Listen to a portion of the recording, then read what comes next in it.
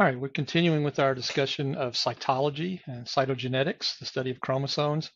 Uh, so far, we're looking at the changes in chromosome number. And in particular, the last lecture, we looked at euploidy, the big effects, losing entire haploid components. Now we're going to start looking in the next two lectures at aneuploidies. In this lecture, we're primarily going to concentrate on uh, the ones that affect the sex chromosomes. And then the next one, we'll talk about ones that affect the, the autosomes. And so we're down here, we're at aneuploids, right? Uh, we're going to use human models for this because there are, unlike euploidy, which is simply not tolerated in humans other than in mosaicism and other rare cases, uh, aneuploidy is quite common in human systems. So we're going to talk about that. In fact, there's a very large collection of information on humans, uh, the chromosome variation in man, uh, that was Dr. Borgaonkar's great book. Uh, I actually was fortunate enough to uh, have taken my first human genetics course with Dr. Borgaonkar. Uh, it's quite a long semester. It might have been my only B in graduate school too. It was, it was quite a bit. Uh, but he was, uh, it was an excellent, informative uh, time. And you can go online now and you can uh, search the website for any types of chromosome anomalies that you want to, to look for. All right, so just to reach uh, a living human, you, you, end up with other types of effects, one of which would be things like um, meiotic dysfunction, because now think about it, and it's a good challenge for you to think about. What happens if you get an extra chromosome, right? So you're supposed to have two, but now you've got three.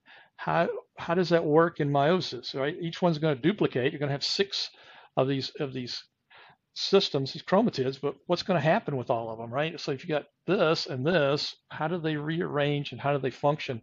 Obviously, meiotic dysfunction. And of course, we talked a couple lectures ago about there being these checkpoints, right? Uh, that, that, check to see if your DNA is in, in correct and all that. Well, if it's too much of it or too little of it, those checkpoints can recognize that and, and, and you can have issues with uh, dysfunction.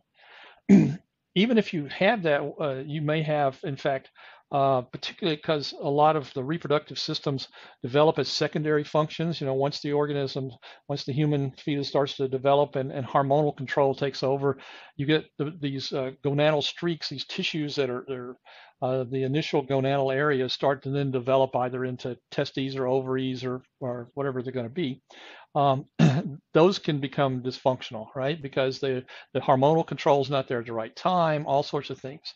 This can lead to things like uh, primary and secondary amenorrhea, which is the absence of a menstrual cycle, primary is. So females who just simply do not go through the full menstrual cycle. Uh, or there's secondary, which is a case where they don't complete menstrual cycle or there's massive mistiming or something. Uh, lots of times we see delayed puberty uh, in individuals, particularly when we talk about those as we are in a moment uh, related to the sex chromosomes. And then, of course, there's fertility and subfertility. If, obviously, if you're having meiotic dysfunction or you're having other problems with the, with the proper cycling of the reproductive system, then you might end up being infertile or you might end up being subfertile. In fact, some of the ones we're going to talk about today, uh, the only reason they're they're ever identified uh, because they're relatively you know normal uh, and, wild type, they don't disperse away too much, is that they're um, they'll end up in fertility clinics. And they'll they'll be you know in a, in a relationship they're trying to have children they're they're, they're not having children or they're having a lots of uh, uh, miscarriages or something and they'll end up in a fertility clinic be, and they'll then test you know test them to see what type of chromosomal uh, things they might have and they'll turn out that they'll have some issues okay all right now obviously I've already uh, alluded to this but there there are two major sources for where we can have chromosomal anomalies. And if you go back to one of the ideograms, right, this is a male system right here, male ideogram of a human. Uh, just remind you, these are just arranged by size and chromosome location. And, and eventually we'll talk about these little dark and light stained areas, these bandings, but they're also part of the arrangement. Um, autosomes make up the vast majority of our chromosomes. We've talked about that several times. We talked about the sex linkage and things. Sex chromosomes, um, being mammals, we have Lygaeus mode of sex determination. So we have these two. Um, we're going to concentrate in this lecture on what happens with some of the, uh, the variations that can occur in the sex chromosomes over here. Okay. Um, now, they're not as uh, they don't cause as much problem in general as um, the autosomes do up here. Why? Well, because we already have this uh, unequal sex chromosome system anyway, right? We have we have an imbalance because males don't have the same genetic material as females. Females get two X's, males only get a Y, and that Y at the top has a little bit of area that is consistent with the and with the X and therefore allows it to synapse. But the most of the Y isn't isn't anything that's on the X. So we already have what we call hemizygosity anyway. So, you know, not having an extra chromosome or something that's a sex chromosome tends to have somewhat less effect than maybe losing one of the major autosomes up here. So we're going to talk and concentrate on the sex chromosome things right here, okay?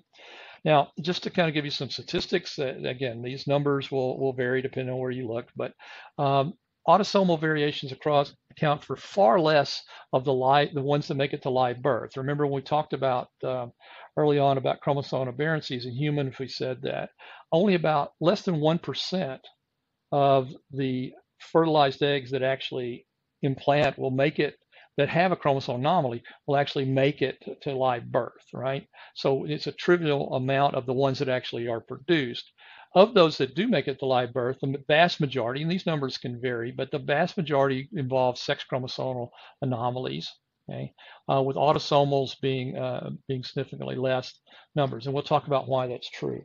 Now, I want to introduce a term for us, and that term is called a syndrome. Um, a syndrome has now been kind of usurped throughout the medical fields, uh, meaning a collection of, of all sorts of conditions or, or things that are connected to particular disease or to particular type of, uh, of uh, you know, effect. Originally, syndrome was mostly associated with with genetic effects. Okay, so we're going to talk about them in terms of genetic anomalies. So for us, a syndrome, and the way these that we'll describe them, is a collection of traits most often associated with some genetic anomaly. So some departure from the wild type number uh, for whatever species you're dealing with, in our case, humans. Uh, so we're talking about 46 chromosomes. So any departure from that uh, that causes some type of phenotypic effect, we're going to call a syndrome. Now the reason for that is remember chromosomes contain lots of different genes, lots of loci. So if you have one missing or you gain extras or whatever, you're going to affect a number of different traits. So syndromes are collections of these traits. And as I'll point out, um, there's sort of a, not everybody has every trait that we're talking about. Even though they may have that syndrome, they may have the genetic condition, they may not express every one of the traits, or they may express more. It just depends. Uh, there's there's a lot of variation there. So these are sort of the average of what you would see with people. Okay. All right. So here's two of the big ones, and, they're interconnected. So these are ones you definitely need to know. The first one we're going to call Turner syndrome. Turner syndrome is classically defined as a monosomy X, uh, and the O that's here means an absence of a chromosome, right? So these are individuals who have 2n minus 1. So they would be individuals when we karyotype them and look at the ideogram, they, they're missing a chromosome. They would only have 45.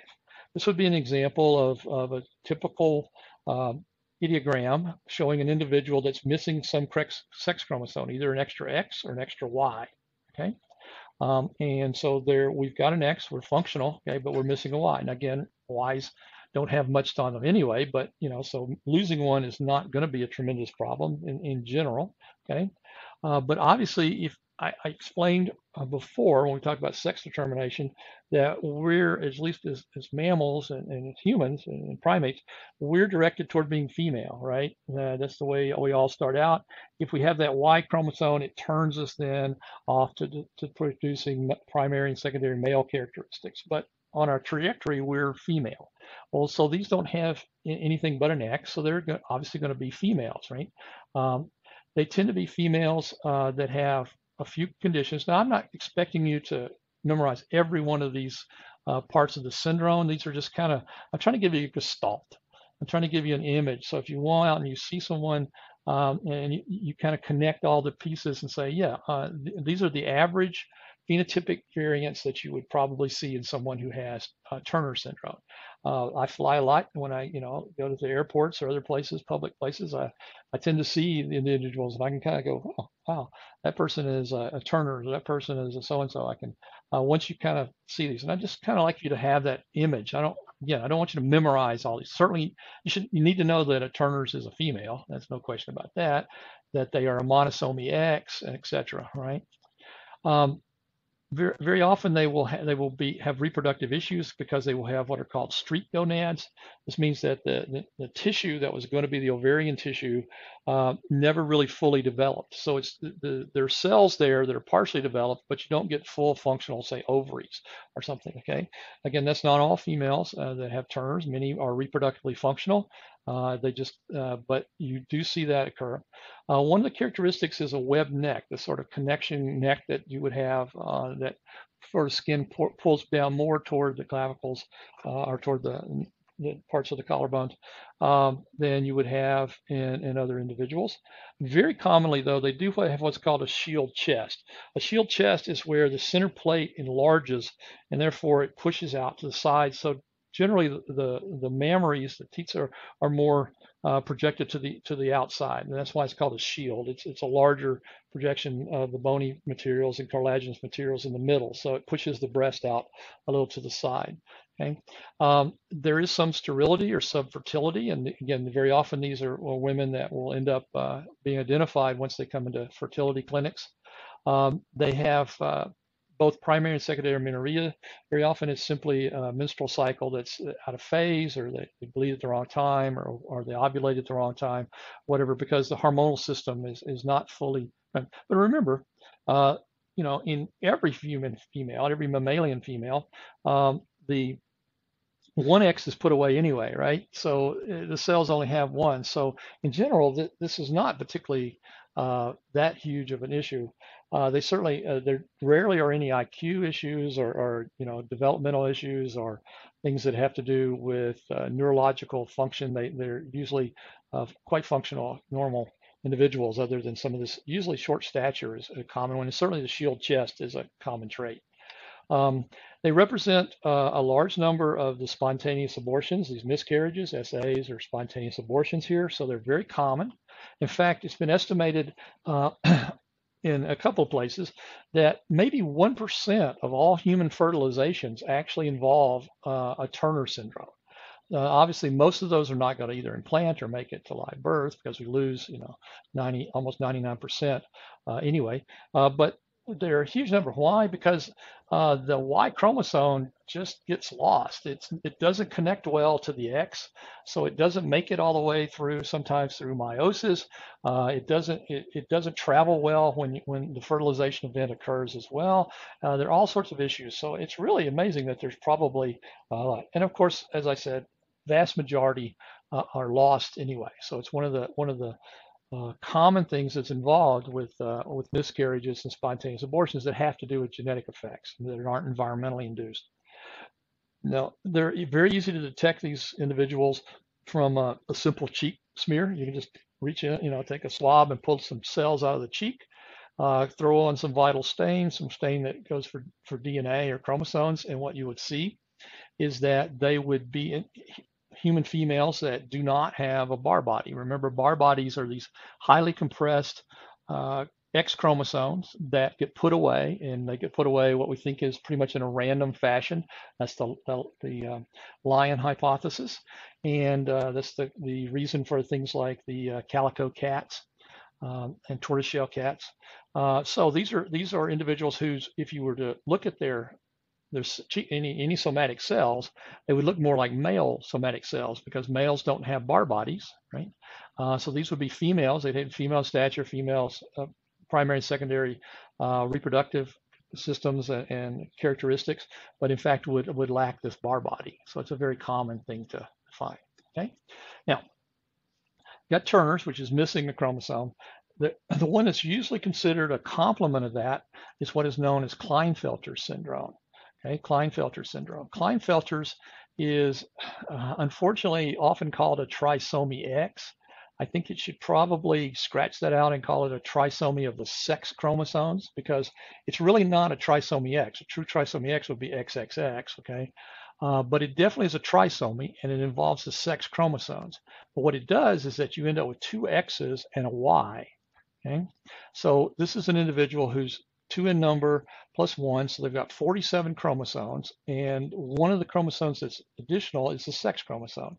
So this is a, an ideogram uh, showing uh, an individual that was karyotyped as a Klinefelter's. They have two X's okay, and they have a Y over here. So they have all of those, okay? Now, because they have a Y, uh, they're going to be diverted toward being male, right? That's going to produce the, the, function. So these are generally males.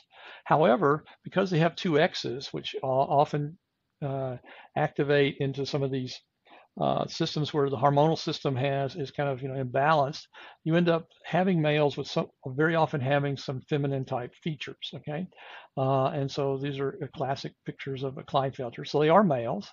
Uh, they often have degenerate testes, uh, or, or testes that, that don't fully descend. Remember, you know, mammalian testes are, at least in humans, are internal and then they descend out uh, when they're mature. They uh, they often have degenerate testes, so they're not producing adequate amounts of testosterone to combat some other things. Uh, they may have what's known as gynecomastia, which is the, the development of breast material. Uh, they don't usually have the plumbing to, to, lactate or anything, but they will have uh, development of, of extra tissue in, in, the breast areas. They um, have typically a broad pelvis. Uh, if you ever uh, just look at a, a, skeleton model of a, of a human female versus a human male, uh, the pelvis on females is much broader and wider, pointed out like this to widen up the birth canal. Males are, are tend to be much more pulled in, so it's very easy uh, to tell a, a, male generally to tell at least for adults a male from female pelvis area. Uh, one of the reasons is you know males I, I'm terrible when I go to gym and try to do lunge things where you know you stretch out and lunge, whatever. I tend to fall over well because women have more balance because of their pelvis. Um, they they tend to be males that have a higher pitched voice, or their voice will not change until later on, so they have delayed change into the male voice. Uh, just a few things. And they have knock kneed. They they have follicle stimulating hormone that they produce. Um, and their their intelligence may be slightly uh, delayed uh, all the way up to just non-detectable. Okay. Again, I don't expect you to memorize each of these things. All right. What I want you to know is that Klinefelter's is a trisomy of the sex chromosomes. It's XXY. Uh, that it's therefore 47 chromosomes. They're males, and they have sort of this this pattern here that sort of feminizes these individuals. Okay. Uh, so that you'd be able to, to, to kind of recognize that if we were to throw this out. Right. Um, they represent a frequent occurrence in fertility clinics, uh, somewhere five, six, these numbers vary a lot depending on where you look on the uh, books you look in, but somewhere at least 5% is a, is a reasonable number.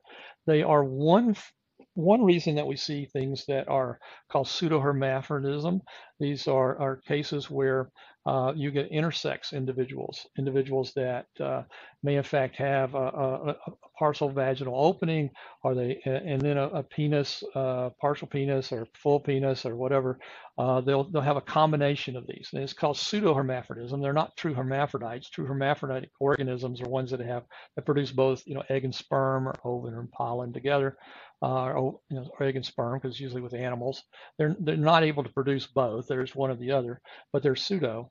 Uh, and of course, this has some big issues about when when a birth occurs, and there's a the doctor says, well, you've got, you know, you've got um, the genitalia, partial genitalia from both both sexes, what do you want to do? Well, parents often uh, make a decision about uh, how they're going to raise that child, the, the, the, gender that they're going to assign to that child.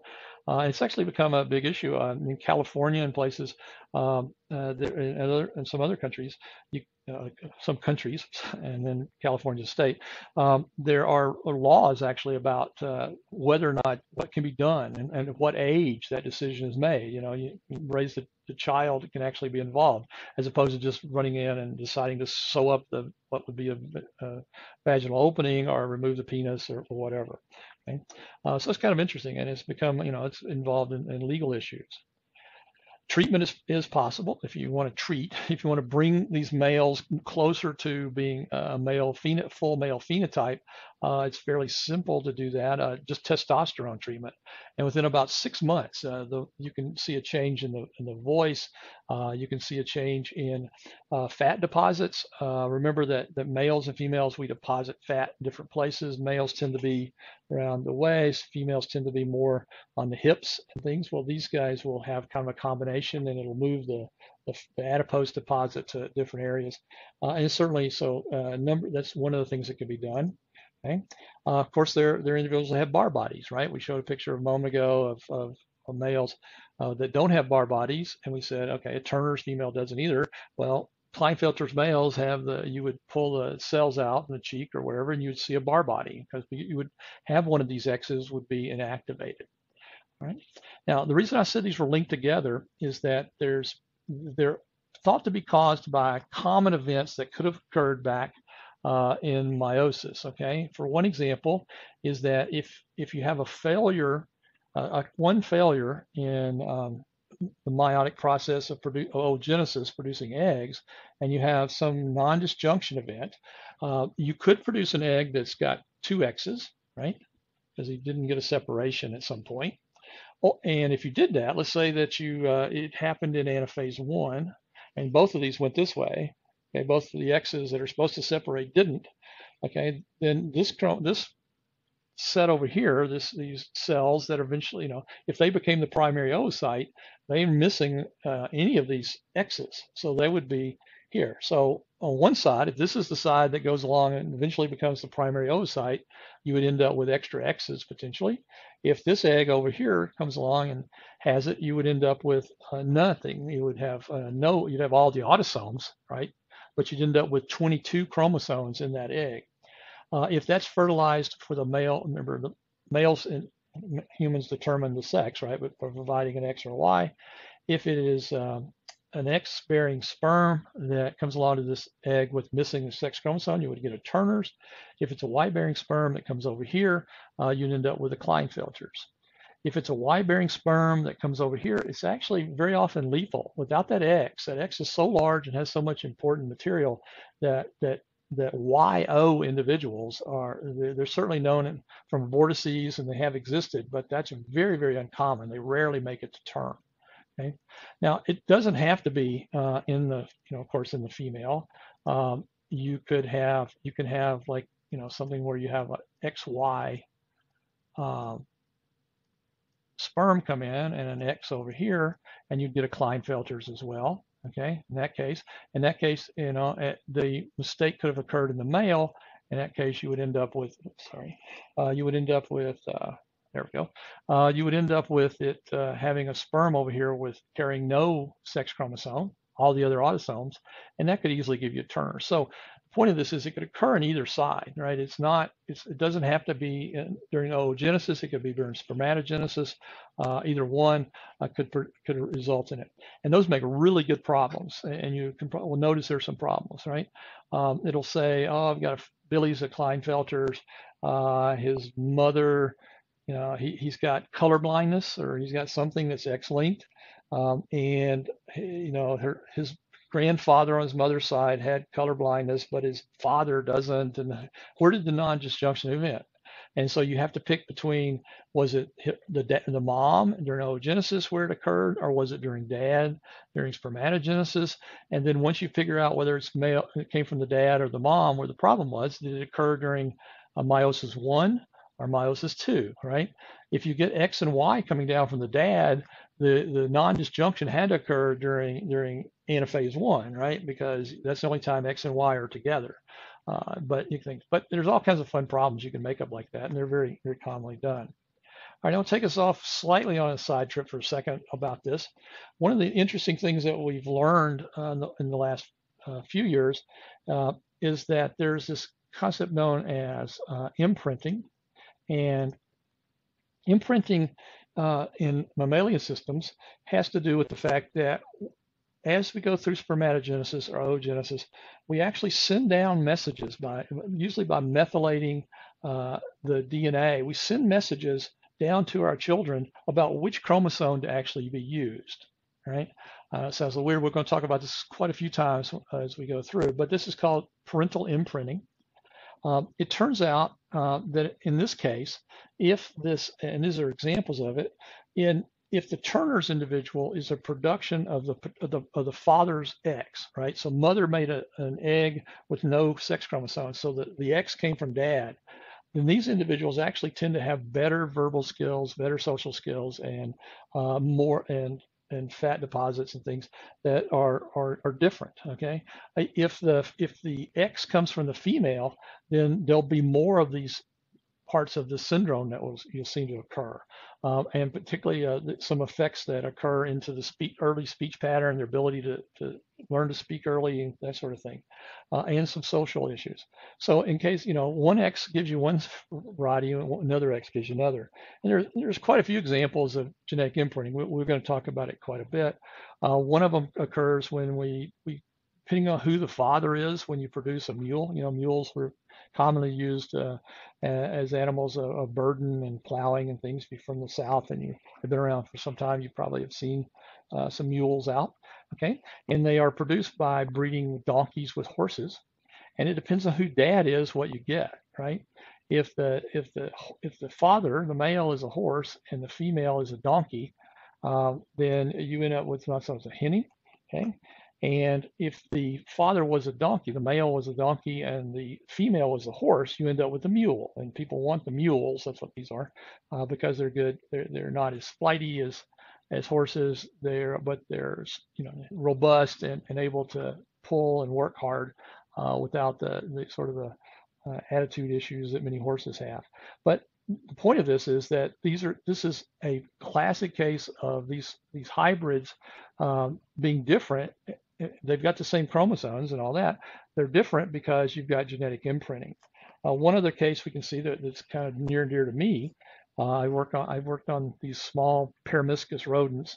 Uh, Peromyscus Mickey Mouse, right? The little white thing that, that, that Disney did was a Peromyscus. Okay? And there's lots of species of Peromyscus. The two that occur in the south uh, among several are, are Maniculatus and, and Polionotus. Polienotis is the old field mouse. It's a small mouse, lives in burrows underground. It's also uh, the species of beach mice, the endangered ones that are found on the Gulf Coast.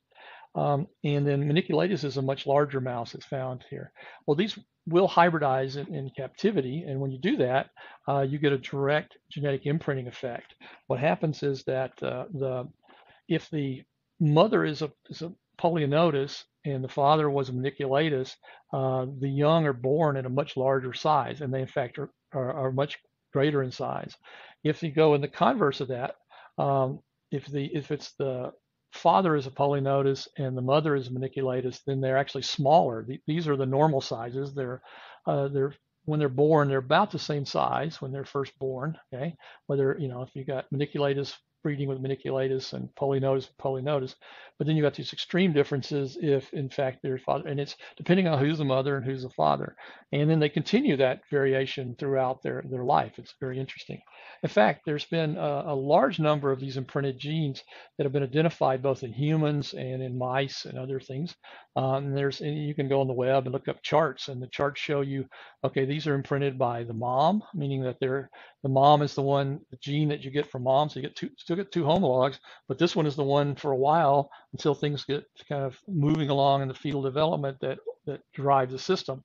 Other times it's the male side, and there's there's all these charts. You can see them for both maternal and paternal systems. Okay. So here's imprinting. We'll, we'll, come back to imprinting as we talk about epigenetics and other things later, but it's one of the newer areas that we're learning about. Um, and then this Klinefelters, I, I, told you Turner's, but in Klinefelters, uh, if it's the paternal X, so if it's this is maternal, and then if it's XY, both of those come from dad, uh, it goes the opposite direction of Turner's. Uh, there's impaired speech, delayed motor development, the size, there, there's kind of these larger males. Uh, so you get kind of the, the bad part of all this. So I said this syndrome is a collection and that collection can vary. Well, one of the ways it can vary is by where did you get the extra chromosome and drive uh, how much effect these things have. Just I think quite interesting. And it all, all has to do with genes being turned on or turned off on those particular chromosomes by this imprinting. Okay. All right, uh, I wanted to cover just a couple more. Um, one is known as multiple X. Now, these are true trisomy X's. Okay, so I said earlier uh, that Klinefelter's is often called a trisomy X when it should be called a trisomy sex chromosomes. Uh, true trisomy X's are XXX. we see uh, tetrasomy X's have been reported in living humans and pentasomy X's have been reported in living humans. Now, trisomy X in, in fruit flies, remember fruit flies are XY as well, uh, are actually known as Amazon fruit flies. They're, they're, they're bigger females, produce a lot more eggs. these are, are obviously females, right? Because they, they have X chromosomes. And they are have sometimes have these uh, menstrual irregularities uh, because the X's uh, there's too much production of estrogen or there's a, a formation estrogen. Obviously, these would be individuals in many cases that would have two Barr bodies and maybe even three Barr bodies, or sometimes two X's will remain active. That's when you really get issues. One of the things you do see very commonly in these are these premature menopause. Um, some of these individuals will uh, become um, they'll start a menstrual cycle in their teens, and then by their late teens or some or their or certainly their their late 20s will start to be menopausal, show signs of, of regression of that system, uh, estrogen shutdown, which is kind of a very interesting uh, form. So it's one of the common things that you see. Uh, they often have uh, underdeveloped secondary sex characteristic, hair patterns, uh, mammary productions, and things. Some have um, uh, there's some lower IQ. Um, it's not hugely lower, but it sometimes there's maybe about, you know, on average about 20% lower than say their SIBS or something. Uh, one of the big things they have are some behavioral problems. Uh, and, and actually, the more you have of these, uh, the more aggressive uh, they may be as females. And actually, uh, there's been some evidence in earlier studies that uh, these individuals are ones that tend to be runaways and do things that, you know, to, to are issues. But but primarily they have speech issues. They have uh, slow development of speech.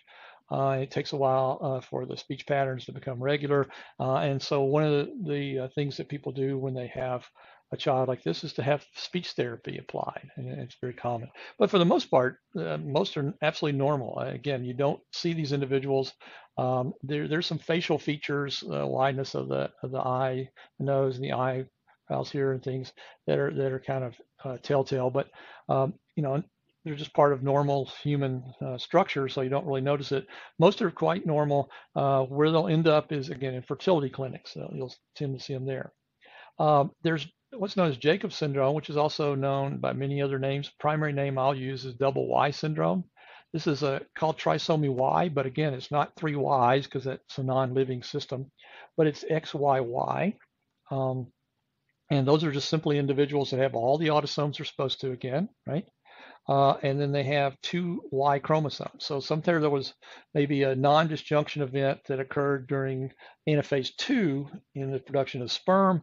They brought two Ys with them uh, and normal X over here, and you ended up with, with this combination. Okay, um, these are very common. They are, of course, males. You know, if you have a Y, you're going to be devoted, converted over toward being male. Uh, they tend to be tall individuals, often have fairly normal IQ, although uh, they will have some speech development issues. That tends to be the, the major thing that you see in these individuals is they will have some speech issues. Um, and they, they tend to have acne, that uh, very pronounced acne throughout much of their uh, their course, their adolescence and then well into adulthood, you'll see this. But, you know, there's not many things carried on the Y, right? So you don't want to have major genes there. So obviously, uh, testosterone production or testes production uh, is triggered by genes on the Y and things like that. Uh, but and, and so they're, they think, in fact, some people thought that this Y in the original studies that were done uh, linked it to uh, to criminal behavior, and, and so that still persists uh, out there in the literature and in some of the places on the web, you know, these urban myth type places, is basically that XYY were aggressive individuals. And that was primarily done, uh, the first studies were done. Uh, remember, I said you got to use colchicine or something, right? Uh, so you would have to, there wasn't good cell culture. You couldn't just take a few cells and, and do this. And so they would, uh, they would want to get quite a bit of material. And so they would actually inject people. Well, who's going to let you do that, right? Well, uh, most, you know, other than graduate students, most people aren't let you do that, uh, or take a big chunk of cell out of them to, to do their growth. So uh, some of the early studies were actually done either in, in institutions or they were done uh, in jails or something where they could trade cigarettes or whatever for letting someone do a test. This is, of course, in the 1950s. Um, and so uh, the, there was very early data suggested that there, that this there was a higher frequency of this type of chromosome anomaly amongst people in um, institutes for the for the violently insane individuals or violently disturbed individuals are people that were, you know, habitual criminals, and, and that carried through. Well, as soon as uh, it didn't take long before we could do tissue culture and other things and, and, get much more data, and it proved to be basically completely incorrect. Uh, and but it carries forward. It's one of those urban myths that th- these guys are aggressive and uh, you know all sorts of things. Um, then the last one I want to tell you about was what's known as XXXY or XXYY syndrome. Uh, this is just a tetrasomy. Okay, there are not a lot of those. These are 2n plus 2 individuals. Because they have the Ys again, they're going to be males, and they're going to have small testes in general, the degenerative testes, which means that they have a lowered uh, testosterone production, which does a lots of things. It slows down their development uh, for uh, you know reaching puberty. Uh, it tends to uh, very commonly impact their speech development. Uh, so they, they often need uh, work with that. Uh, and then there's a whole bunch of other things that tend to be associated with it. So this the point of this is we're increasing the amount of DNA here. Uh, we're imbalancing the system even more. And unlike XYY, which is fairly you know common and, and not particularly an issue. These individuals start to have many things. They're often diagnosed with with bipolar. Uh, they they have outbursts. They have very difficult times dealing in social situations. Uh, extraordinary imagination means that you know just kind of make up stuff, right? And difficulty telling the truth. And one of the really interesting things is that one of the places they are often diagnosed is through uh, dental uh, issues. Uh, they they tend to have poor hygiene anyway, but uh, their enamel systems are bad. And what will happen? These kind of these two will form. First, they're they won't produce appropriate uh, adult teeth. You know, so they'll they'll have these these children's teeth, but then they'll lose them, and then they'll just have missing places. And then they have this uh, which is a case where uh, the top part of the tooth, like here, a normal tooth, uh, overgrows and eventually goes down and sort of overgrows what would be the roots. So instead of being here, it kind of comes way down like this, showing kind of like this one over here. Okay, um, and that's a, a, common sign for these individuals and, and a signal that, that, you know that dentists will actually look for uh, when they see other conditions there that might suggest you've got this problem. Uh, interestingly, too, this is a condition found in Neanderthals, uh, skull, uh, you know, uh, cranial systems as well. So it's uh, it's uh, apparently a, a, very old uh, human system or mammalian system, primate system uh, that shows up and it triggered some genes apparently in these individuals by having uh, these conditions. Okay, so these are the primary ones that deal with sex chromosomes. Uh, what we want to do now is we want to continue talking about aneuploidies. Uh, but in doing so, we want to move now to the bigger ones, to the ones that do with autosomes, and show you some of the big effects that those have. Moving away from these, you know, what are naturally imbalanced systems anyway, because we we are uh, we have this heterogametic uh, sex determination. Moving to autosomes, which are, balanced, and then imbalancing those, we'll see cause major effects.